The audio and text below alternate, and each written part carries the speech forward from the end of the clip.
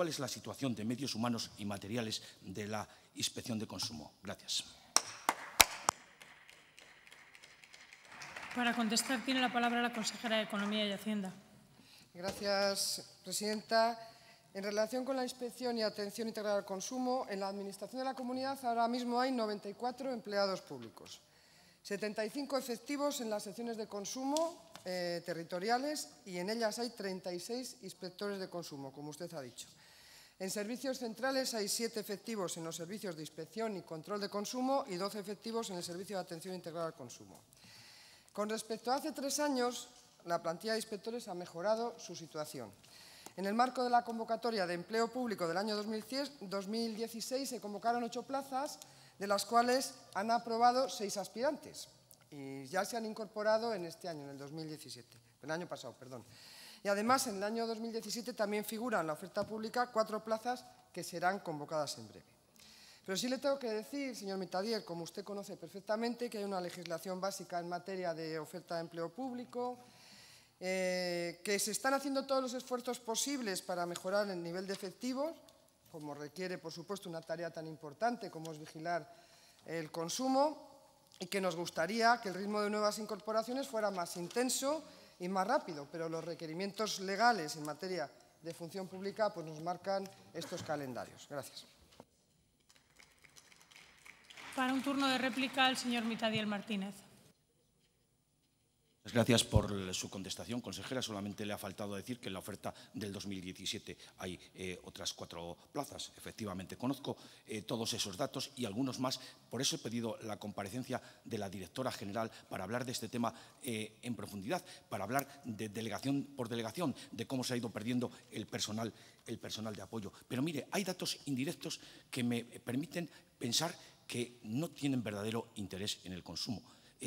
Mire, eh, ya no le voy a hablar, sí le voy a hablar, de la ley 2 barra 2015, de cómo se cataloga como faltas, como faltas leves cosas como son la resistencia, el obstáculo a la inspección, pero además hechos eh, como eh, el que, perdón un momento, porque quiero citarlo de forma más o menos, más o menos textual la, inclusión de cláusulas abusivas en los contratos, prácticas comerciales desleales o engañosas puedan ser considerados como faltas leves.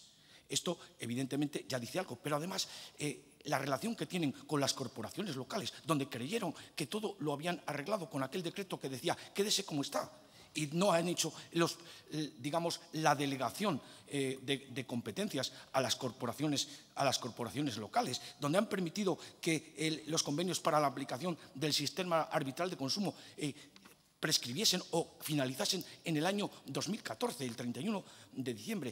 Estos son datos que nos permiten pensar. Y no me ha hablado usted del programa de gestión, ese tan maravilloso que tiene 25 años, que a lo mejor es magnífico, pero en 25 años seguro que las cosas han cambiado notablemente.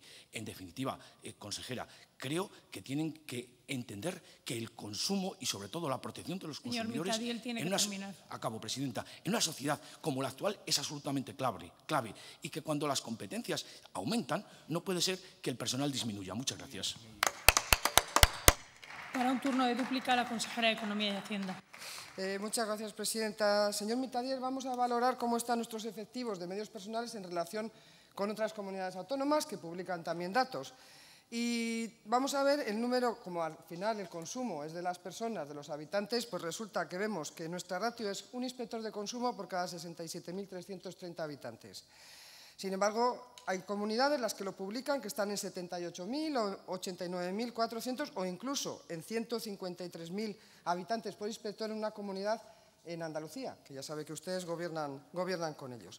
En cuanto a las aplicaciones informáticas, eh, tenemos efectivamente la Fundación Siglo, la aplicación Siglo, perdón, es antigua, eh, se, se actualiza y se mantiene todos los años, se está trabajando en una nueva aplicación que se llama Inconet. Pero es verdad que los inspectores de consumo trabajan con otras aplicaciones y tenemos la aplicación del Ministerio de Sanidad, Servicios Sociales e Igualdad, de la Agencia Española de Consumo, Seguridad Alimentaria y Nutrición, que se trabaja con dos aplicaciones, el GESCAN y la red de alerta, que son iguales para toda España. O la propia Unión Europea tiene otras dos aplicaciones, que son el CSMS y el Business Application. En definitiva, trabajan con aplicaciones que realmente son, eh, se están actualizando todos los días, con independencia de que podamos mejorar y hacer una aplicación más moderna para el ámbito específico de Castilla y León.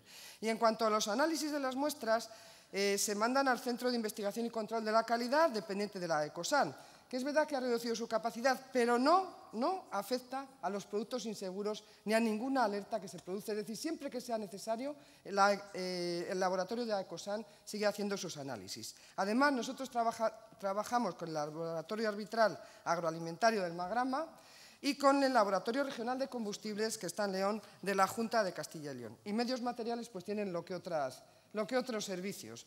En, definitiva, eh, yo quiero acabar diciendo, y se me termina el tiempo, el reconocimiento público a la buena labor que hacen los profesionales en el área del consumo, sobre todo en la inspección, pero también en materia de reclamaciones, la atención al consumidor, educación en materia de consumo, impulsando la colaboración con las asociaciones de consumidores y usuarios.